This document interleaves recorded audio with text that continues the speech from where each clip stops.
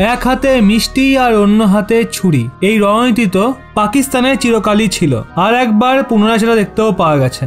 প্রজাতন্ত্র দিবসের সুযোগে যতই পাকিস্তানি সেনা ব্যস্ত হোক, ভারতীয় সেনাকে মিষ্টি দেওয়ার জন্য, আর ভারতীয় সেনা যতই ব্যস্ত হোক পাকিস্তানের রেঞ্জারদের মিষ্টি দেওয়ার জন্য। কিন্তু ইন্টারন্যাশনাল মঞ্চে তো ভারত ও পাকিস্তানের দৈরত দেখাই যায়। এমনটাই কাল দেখতে পাওয়া যায় ইউনাইটেড নেশনের ভেতরে। পাকিস্তানের রিপ্রেজেন্টেটিভ মুনির আকরাম ভারতের ওপর একটা নতুন অভিযোগ আনা শুরু করে দিয়েছে। অভিযোগটা কি? অভিযোগ হলো সাউথ এশিয়ার ভেতরে। পাকিস্তানের ভেতরে তো জঙ্গি ক্রিয়াকলাপ হয়। সেটার ষড়যন্ত্র তো ভারত করেই। এখন সাউথ এশিয়ার ভেতরে যত জঙ্গি হামলা হয়, সেগুলোও ভারত করে। বাংলাদেশের ভেতরে আতঙ্কবাদী হামলা হলে সেটাও ভারত করে। শ্রীলঙ্কার ভেতরে হলে সেটাও ভারত করে। আর পাকিস্তানের ভেতরে হলেও সেটা ভারতই করে। আপনারা এখানে দেখুন, বাংলাদেশ, শ্রীলঙ্কা এখনও ভারতের বিরুদ্ধে কিন্তু কোনো অভিযোগ আনেনি যে ভারতের কোনো হাত রয়েছে তাদের দেশে জঙ্গি হামলা করা নয়। কিন্তু প্রতিবেশী দেশ পাকিস্তান না জানি কিসের নেশা করে। আর কোথা থেকে তারা ইনপুট পায় যে তারা এত বড় মঞ্চে?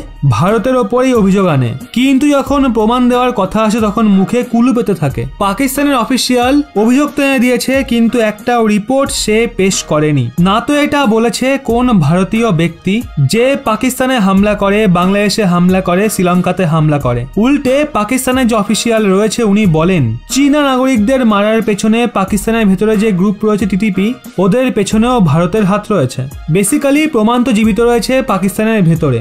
এখন শুধু আর শুধুমাত্র ষড়যন্ত্রের জোরেই পাকিস্তান বেঁচে আছে, কারণ ওখানকার আর্মিও ফুস, ওখানকার সরকারও ফুস। এই জন্যই তাদের এত বড় ইন্টারন্যাশনাল মঞ্চে কথা বলতে হচ্ছে কাপুরুষের মতো। না এদের কাছে কোনো প্রমাণ রয়েছে যে ভারত কীভাবে ইনভলভ রয়েছে, যখন আফগানিস্তানের ভেতরে তালেবানের রাজ রয়েছে।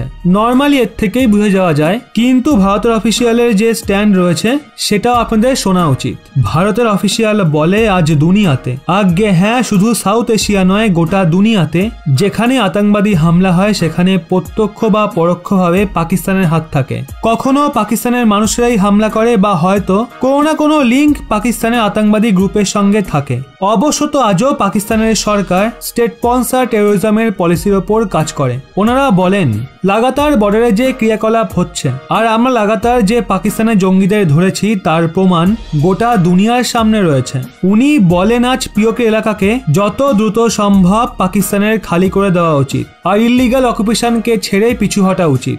উনি ভারত ও পাকিস্তানের সম্পর্ক নিয়ে কথা বলার সময় বলেন, যত আলোচনা রয়েছে সেই সমস্ত তখন হবে যখন Pakistan terror free environment create করবে। এরপর পাকিস্তানের অফিসিয়াল জবাব দেয়, এই যে একটা কথা বলা হচ্ছে না? পিওকে খালি করো, পিওকে খালি করো। ইউনাইটেড নেশনে কোনো এমন ম্যাপ রয়েছে কি? যে ম্যাপে এটা বলা হয়েছে যে পাকিস্তান অকুপাইড কাশ্মীর আজ ভারতের অংশ।